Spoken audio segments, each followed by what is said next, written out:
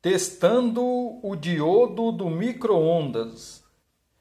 Eu sou Davi Rocha da Silva e gostaria de compartilhar com vocês mais esse conhecimento.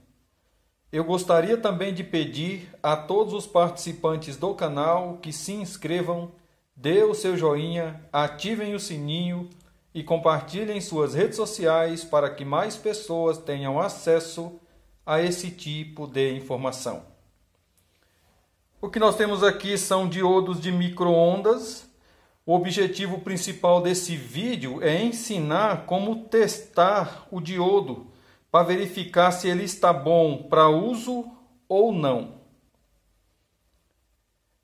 Aqui eu tenho as regras, regras teste de diodo. Se eu inserir o diodo no circuito e der 9 volts, significa que o diodo está em curto. Se eu inserir o diodo no circuito e der 0 volts, significa que o diodo está aberto. Se eu inserir o diodo no circuito, der 9 volts menos a queda no diodo, significa que o diodo está bom. Eu tenho aqui o desenho do circuito, a bateria de 9 volts. Desse lado eu tenho o multímetro, a ponta com está aqui em cima e a ponta vermelha está aqui embaixo.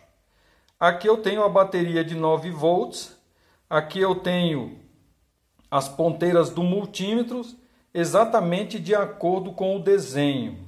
Lembrando que já está aqui na escala de 20 volts, tensão contínua. Então primeiro eu vou testar a bateria para demonstrar quanto tem. A ponta com já está na bateria eu vou encostar aqui a ponta vermelha. Olha lá no multímetro, 8,44. O primeiro que eu vou medir vai ser esse aqui. Vou colocar a ponta vermelha desse lado e encostar essa ponta na bateria, fechando o circuito. Olha lá, 8,44, exatamente o valor que tinha na bateria. Significa que esse diodo está em curto. Vamos pegar o outro, tá aqui, é do mesmo jeito. Vou encostar aqui na bateria, olha lá. 4,33. Se a bateria tinha 8,44 e a medição aqui está me apresentando 4,33, significa que tem uma queda no diodo. Ou seja, esse diodo está bom para ser usado. No caso do diodo aberto, que deveria dar 0 volts, seria como se eu encostasse ele aqui e encostasse aqui na bateria, olha lá, ó, desse 0 volts. Aqui eu estou simulando, eu não estou encostando no polo da bateria, porque eu não tenho o diodo aberto, é só para simular.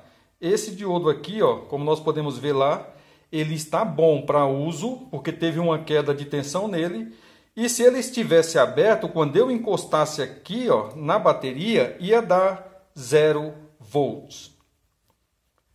Esse é o principal objetivo do vídeo, demonstrar através de testes com multímetro e bateria se o diodo está bom ou não para uso no microondas.